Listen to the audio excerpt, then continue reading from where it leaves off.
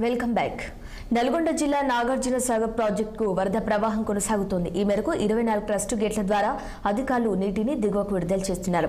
ముంపు ప్రాంతాల ప్రజలు అప్రమత్తంగా ఉండాలని అధికారులు సూచించారు. నాగార్జున సాగర్ ప్రాజెక్టు పూర్తి స్థాయి నీటి మట్టం ఐదు వందల తొంభై అడుగులు ఉండగా ప్రస్తుత నీటి మట్టం ఐదు వందల ఎనభై తొమ్మిది అడుగులకు చేరుకున్నట్లు అధికారులు తెలిపారు.